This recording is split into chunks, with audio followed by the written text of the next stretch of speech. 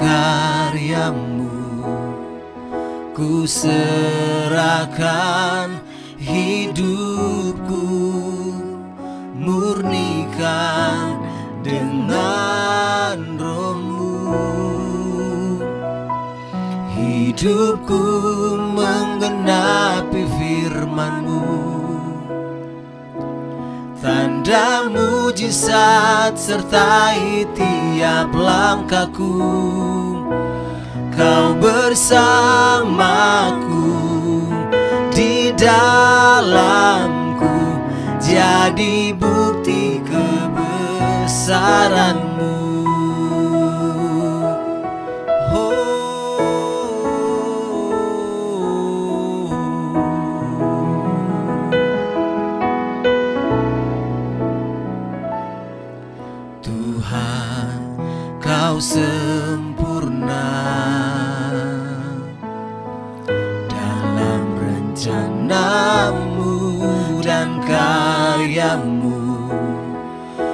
serahkan hidupku murnikan dengan rohmu. Hidupku menggenapi firmanmu. Tanda mujizat sertai tiap langkahku Kau bersamaku di dalamku. Jadi bukti kebesaranmu. Hidupku menggenapi firmanmu. Tanda mujizat sertai tiap langkahku Kau bersamaku di dalamku. Jadi bukti kebesaranmu. Hidupku menggenapi firmanmu. Tanda mujizat sertai tiap langkahku bersamaku di dalamku. Jadi bukti kebesaranmu. Oh,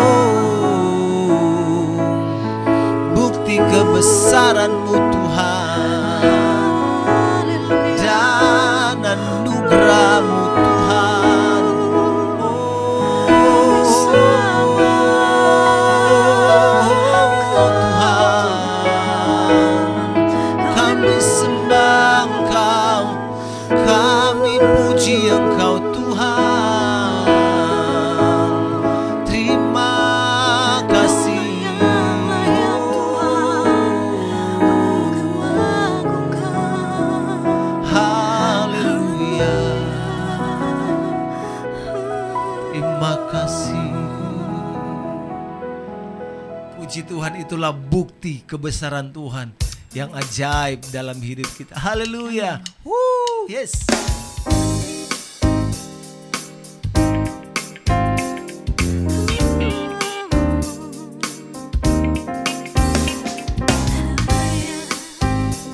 Terima kasih Tuhan.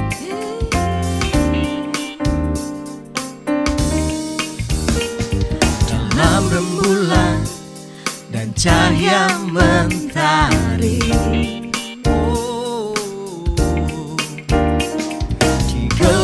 badai dan indahnya pelangi.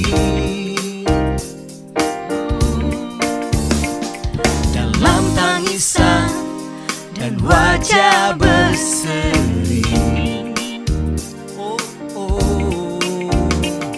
Kan ku temukan kasih terbesar bagi dunia ini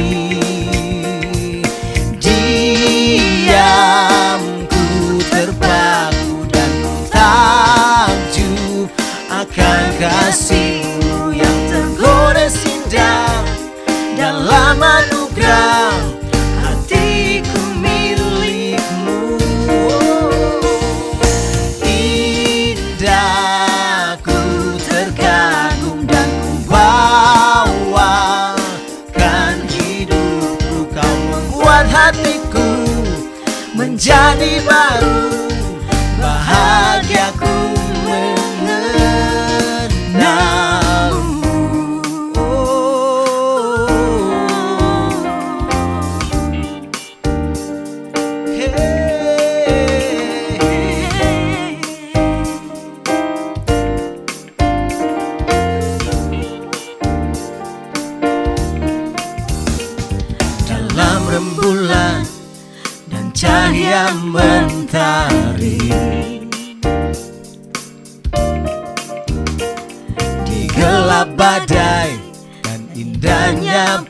pelangi Dalam tangisan dan wajah berseri Kan ku temukan kasih terbesar bagi dunia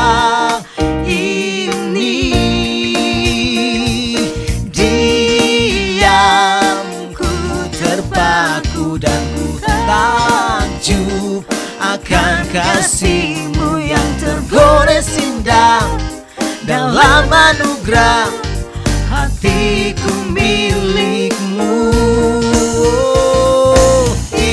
Indah ku terkagum dan ku bawakan hidupku. Kau membuat hatiku menjadi baru Bahagiaku mengenalmu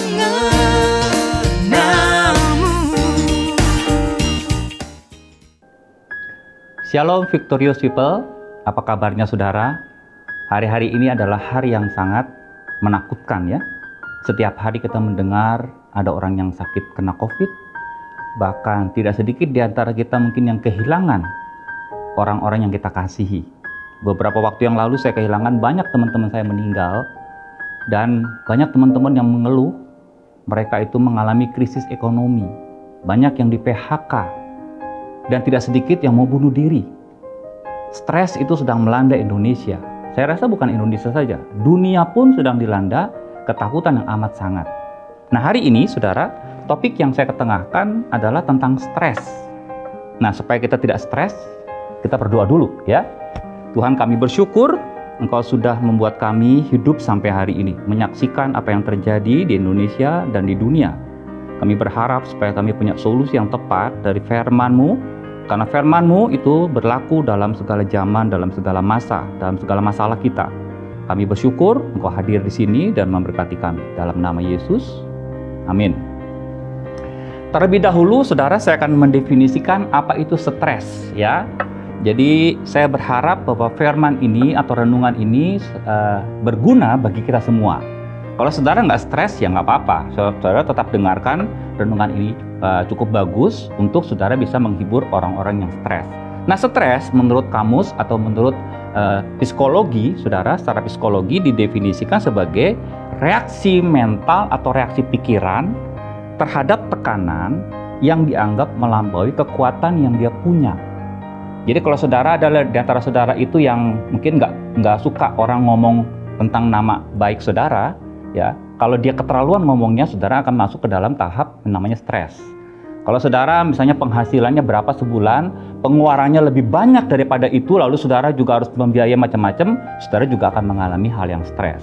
Nah di Alkitab pada seorang uh, stres, ya uh, sebenarnya banyak di Alkitab juga, saudara. Jadi manusiawi banget ya, itu tanda bahwa emosi dan uh, perasaan kita itu masih berfungsi dengan normal.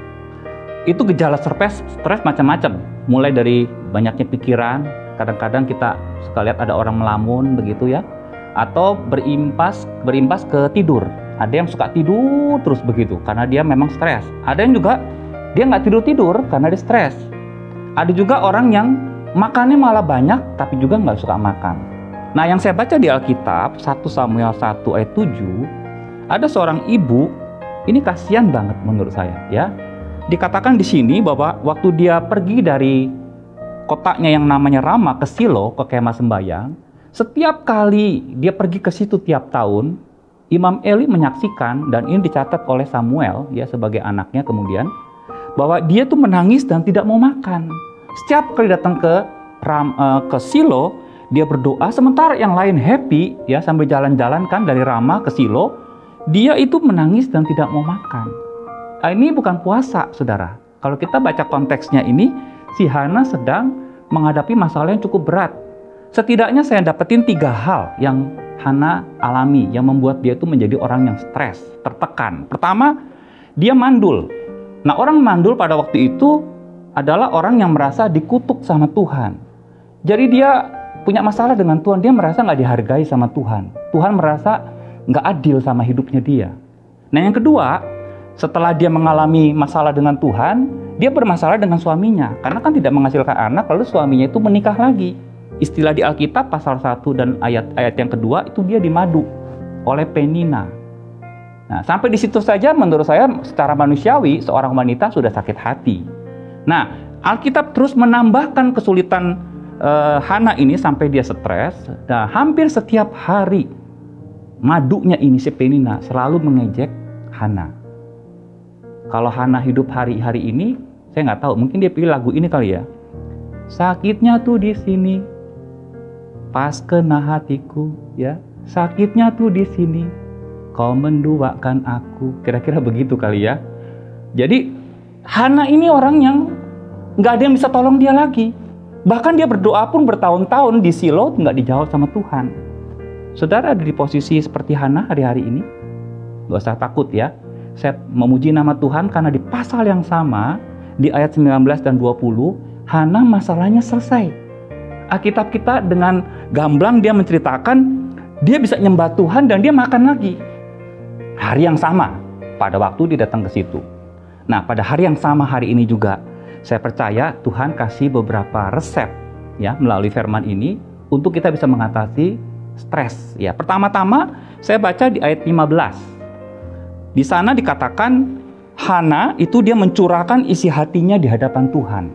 Jadi hal yang pertama kalau saudara merasa diri saudara stres, takut ya, saudara mesti belajar membuang semua emosi negatif dalam hidup saudara. Saudara nggak boleh pendam, ya. Kita mesti fair, kita mesti adil sama hidup kita, sama hati kita. Sayang hati kita digerogoti sama emosi yang negatif itu.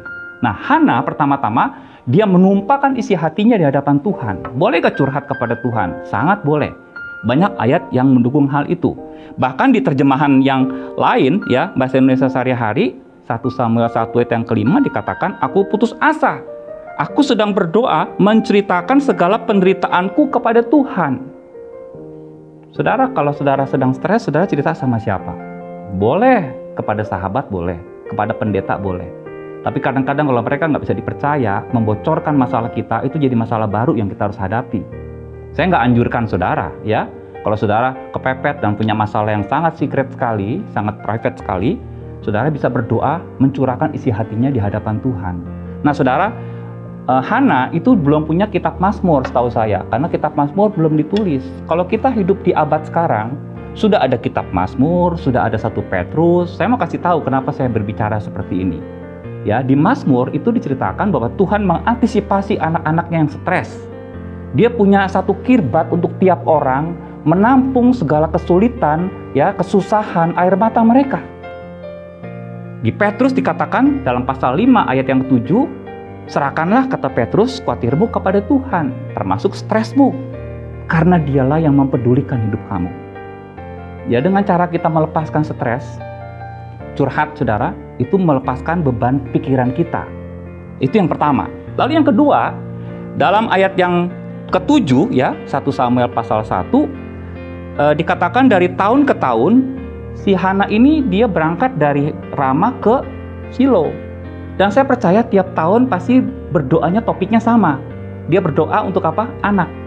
Dia pasti minta kepada Tuhan, Tuhan kasih saya anak satu aja deh ya. Satu aja, nggak usah banyak-banyak. Kalau Tuhan keberatan, kira-kira begitu. Supaya apa? Supaya jangan aku dipermalukan sama Penina. Supaya paling tidak membuktikan bahwa saya ini nggak dimusuhi sama Tuhan, nggak dikutuk sama Tuhan. Aku malu nih Tuhan. Tiap tahun dia berdoa topiknya sama. Kebutuhan itu menurut saya kebutuhan, ya.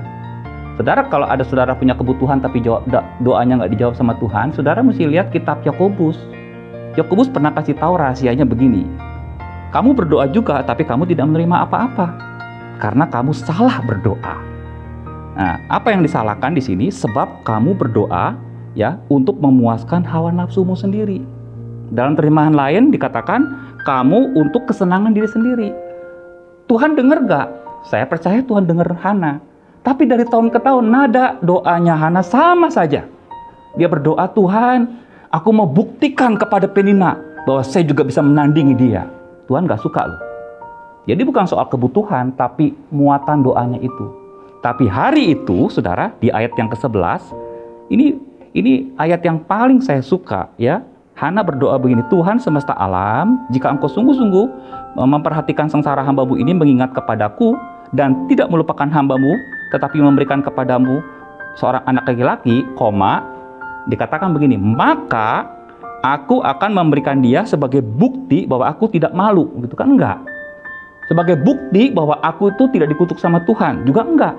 Tapi hari itu, momen itu, dia berdoa, dia ganti motivasi dia dari tahun ke tahun. Dia berdoa begini, maka kalau engkau memberikan seorang anak laki-laki, aku akan memberikan dia kepada Tuhan untuk seumur hidupnya.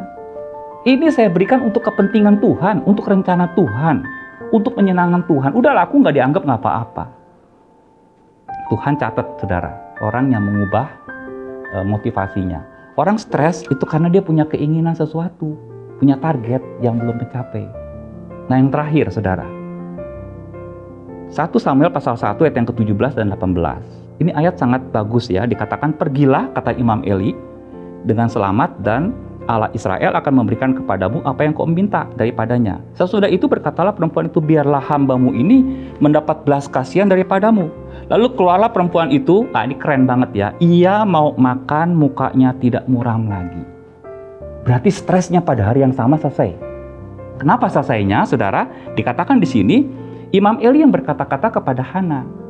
Nah, eh, saya nggak tahu ya, tapi yang saya simak ya waktu saya kupas tentang kitab Samuel ini, Imam Eli punya nama kurang begitu baik.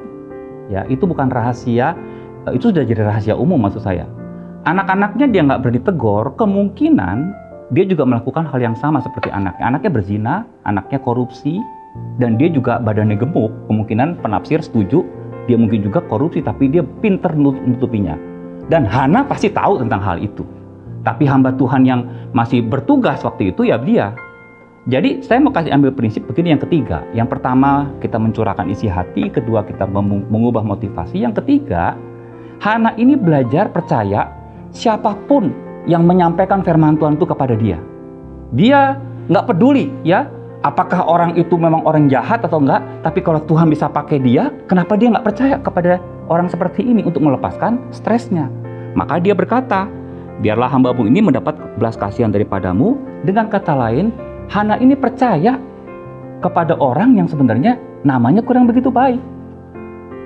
Iman itu, saudara, e, berlaku bagi siapa saja. Anak kecil, orang yang siapa pun yang berbicara, kalau saudara percaya Tuhan bisa pakai mereka, saudara bisa melepaskan hidup saudara dari masalah. Nah, stres itu yang ketiga, poinnya bisa dilepaskan cuma satu cara aja sebenarnya, obatnya. Saudara tahu itu? Apa? Kalau saya dengar ada yang ngomong katanya curhat, ya kan tadi curhat sudah, ya? Atau apa? Oh, kanseling, kanseling juga sudah, ya. Tapi yang ketiga ini, saudara, adalah dikatakan di dalam Alkitab kita tadi hanya dengan iman percaya. Saudara tadi definisi stres apa? Orang yang itu reaksi pikiran karena pikirannya begitu banyak menumpuk. Nah, itu diobatinya dengan apa? Kalau orang banyak nasihat tambah stres biasanya. Obat stres itu adalah melepaskan pikiran, menyerahkannya kepada pribadi yang bisa menyelesaikan masalah dia. Dengan kata lain, percaya.